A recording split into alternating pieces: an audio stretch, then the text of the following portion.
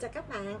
Hôm nay đó các bạn mình à, thèm cái món ăn gỏi cuốn thịt với lại tép ha.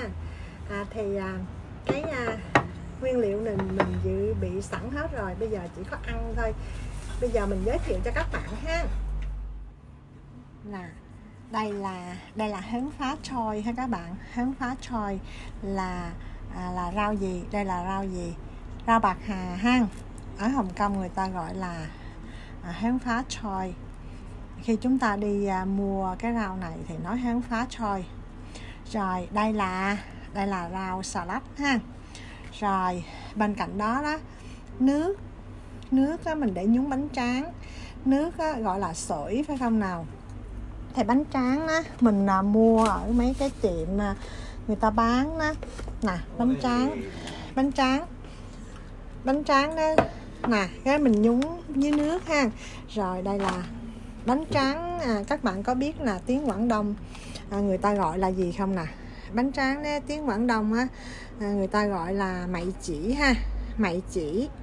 Rồi thì à, đây là cái chén à, nước mắm.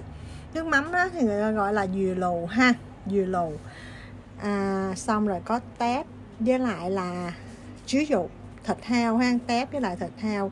Rồi bây giờ mình bắt đầu cuốn ha các bạn mình đói bụng rồi. Cái món này đó là chỉ duy nhất là một mình mình ăn thôi ha các bạn nên ăn cho đã luôn.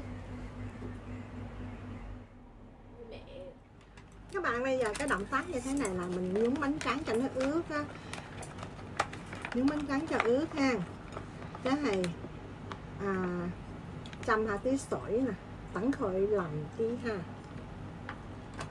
nhìn hầu đó. À ní tí ní tí đây à, bánh tráng đó người ta kêu là gì nè? Người ta kêu là bánh tráng này người ta kêu là à, mậy chỉ ha mậy chỉ. Thì bánh tráng này á là mua ở Việt Nam đó các bạn. Nó cũng rất là dai ngon lắm.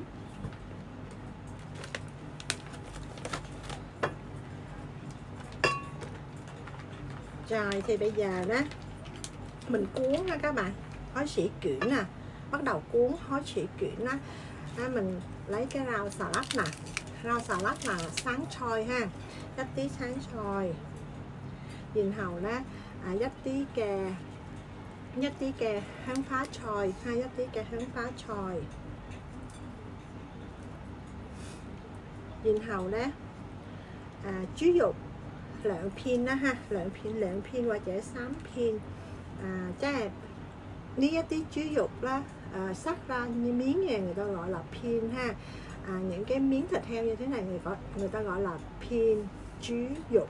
Mình tại giờ à, xám pin ha ba ba miếng ba miếng. Xong rồi mình lột tép. Thì cái động tác lột tép á lột cái vỏ tép như thế này là là người ta kêu là mót họt ha. Cái uh, cái vỏ của con tép á là họt cái động tác lột vỏ đó là kêu là mót hột ha. Mình đang mình đang làm cái động tác là mót hột ha. Các bạn mọi các bạn nhìn ha.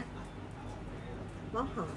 Xong rồi còn sạn hồi à, à, mình bắt đầu mót tại vì chạc là lột vỏ tép con thứ hai ha. Động tác này là động tác mót hột. Mót hột là là lột vỏ tép. Rồi bây giờ hai con ha, hai con tép đủ rồi. Bây giờ mình mới cuốn. Mình thì cũng không có khéo tay gì lắm, nhưng mà thèm. Thì mình phải tự vô bếp làm thôi các bạn, những cái món ăn của Việt Nam. Bắt đầu mình cuốn mà. Rất là, cái bánh tráng này nhờ nó dai á các bạn, cho nên mình cuốn nó cũng được lắm. Chứ không thôi đó. Là các bạn coi, mình cuốn. Các bạn thấy mình cuốn không nè? Cuốn rồi bây giờ đó cái này là cái chén nước mắm. Chén nước mắm đó là người ta kêu là dừa lụ ha dừa lụ là chén nước mắm. Thì à, có lạc chiếu cho nên cũng cay nha các bạn có ớt cho nên cũng cay ha. Rồi bây giờ mình điểm dừa lụ là chấm nước mắm. Bây giờ mình ăn nè. Ăn ha các bạn. Các bạn cùng ăn với mình ha. À, à, à, à thấy đừng có chảy nước miếng nha mụ lò hẩu sữa à.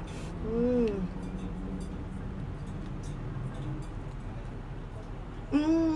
Muốn đi à. bây giờ đó mình tiếp tục ăn ha các bạn à, ừ, hẹn các bạn hẹn gặp lại các bạn khi khác ha